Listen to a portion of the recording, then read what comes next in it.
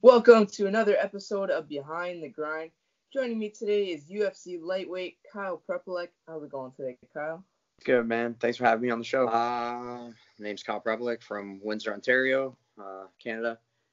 Uh, UFC 155er. Like to, you know, throw down, do like the old school style, like uh, be like Wanderlei or like Cerrone, but uh, want to enter. I want to be a, you know, next big thing coming up. That's what I want. That's my goal. So, representing such a small town as in Windsor, how does it feel knowing that uh, you're doing that?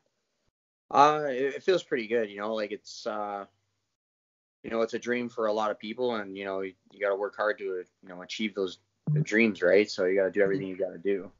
And uh, you know, I think you know, breaking that point to get to that, it uh, not only motivated a lot of people just in general, but with everything else that everyone else is doing, right? So whether it's their work life or their side job that they want to get or their business or even mm-hmm. themselves as athletes to you know strive and push harder because everyone has the ability to do something great right?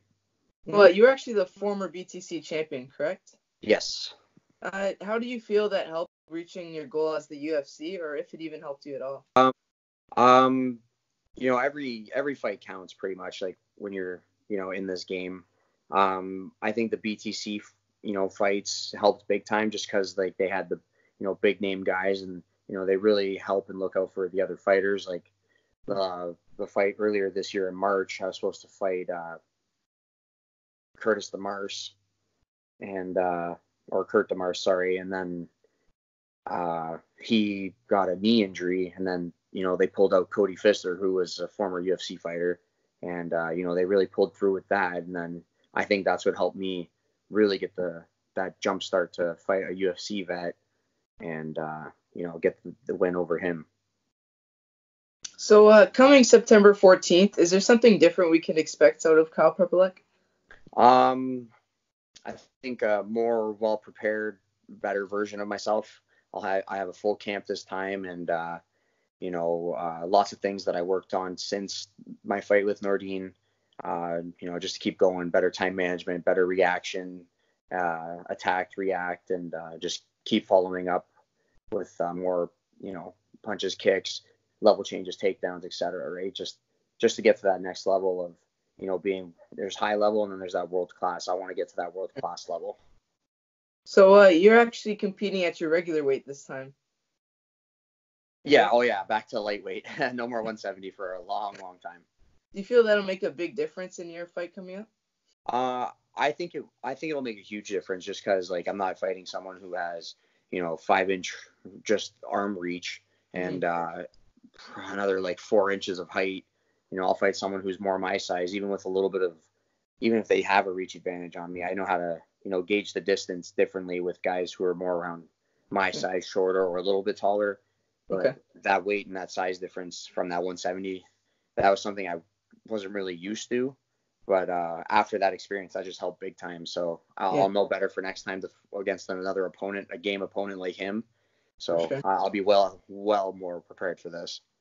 So uh, I know MMA, you have to have pretty much everything, but uh, is there a special aspect you focus on on MMA?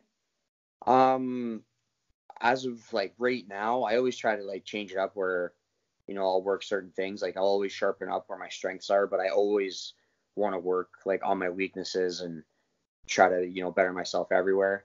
Um, I think a lot of it right now is a lot of distancing and uh, a lot of the the sweet science with boxing, and uh, you know a lot of that wrestling grind, that mentality, and just that uh, that drive. So working a lot of all that while still staying sharp and keeping refreshed with uh, jiu-jitsu, kickboxing, and all that other stuff. Just you know focus on the the weaknesses, increase your strengths. You know do all the good stuff and get all the attributes going.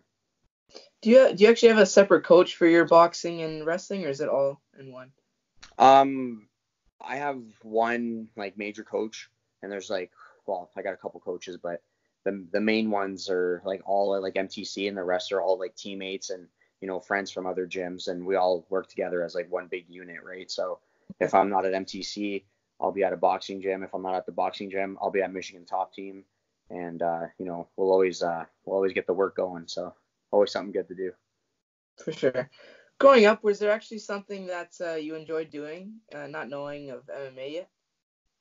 Um, I always liked watching like fighting, like before I was, you know, like what I am now, obviously. But uh, I was always always at the hockey and like pretty much all sports. Like I'll play them here and there, recreational, or even just go watch them because I find them entertaining. And you know, okay. I I like I like all the sports. They all have their own unique thing, and I think it's interesting to me. So. Uh, last couple of questions I have for you, Kyle. Nice and short interview. so, uh, is there anyone you would like to give a quick shout out to? And uh, the stage is all yours. Oh, perfect. Um, obviously all my friends, family, my girlfriend. Um, obviously all my teammates, everyone who's helped me through this camp.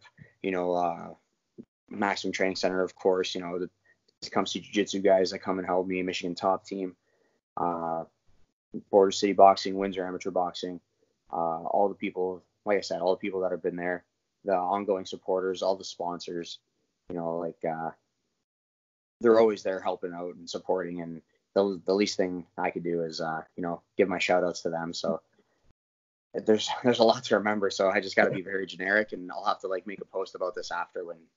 So, uh, Perfect. yeah. So that's all I got for now. and uh, where can we actually find you on social media? Uh, you can find me on Facebook, Instagram. Uh, I don't use Twitter as much, but Twitter I'm still on there. Just I usually retweet, and favorite a lot of stuff for fighting and random videos. But uh, yeah, those those three right now. Awesome. So uh, it was a pleasure talking to you, Kyle, and hopefully we can do this again soon. Yeah, man. Thank you. Thanks for having me. I appreciate it. Awesome. Be sure to check out Kyle Prepolec in uh, his upcoming fight September 14th on UFC Vancouver. All right. Peace. Yeah, take it easy.